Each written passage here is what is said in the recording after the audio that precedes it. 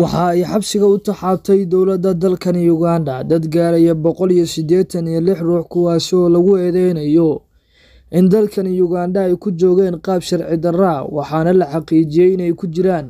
tiro muwaadiniin soomaaliya oo laga qabtay xaafado kala duwan oo ka tirsan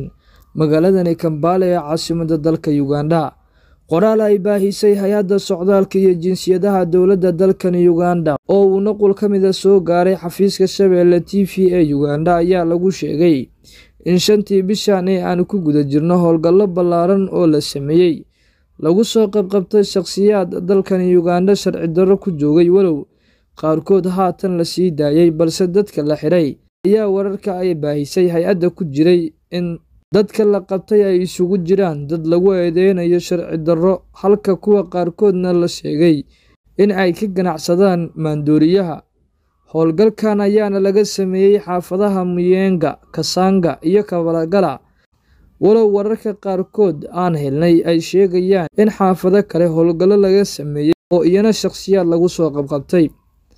Dadka la soo qabqabtay oo tiradooda ay ahayd boqol siddeetan iyo lix ruux ayaa waxaana sidoo kale ku jiray lixdan iyo saddex soomaaliya oo qaarkood markii dambe lagu waayey dembi la soo daayey sidana loo xaqiijiyey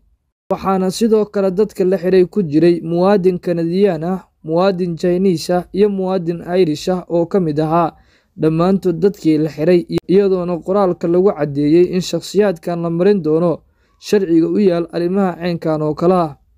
waxaana sidoo kale kala shaqayn doonaa hay'adaha amniga ah ee walaalaha ah arrimaha amniga quseeya iyadoo aan baari doonno kuwa daroogada ka ganacsada ee la qabtay iyo kuwa sida sharci la'aanta ah lagu qabtay iyo kuwa kale ee heer qaran ee dembiyada lagu eedeynayo iyadoona sidoo kale qoraalka lagu sheegay in la marsiin doono sharciga. Dhammaan jaaliyadda soomaaliyeed ee ku nool dalkan uganda ayaa arrintan ay ku abuurtay baqdin badan walow dowladdu ay ku baaqayso qof kasta inuu qaato sharcigiisa. Sida looga hortago kuwa amni darada keeni kara iyo kuwa daroogada ka ganacsada walow ay xusid mudan tahay inay jiraan shakhsiyaad ka ganacsada dadka oo iyana gacanta lagu hayo balse dowladda ayaa ku baaqaysa in loo hoggaansamo awaamiirta dowladda uganda ay soo saarayso. Cabdixakiim xasan axmed cabdixakiim ducaysane raadiyaha iyo telefishinka shabeelle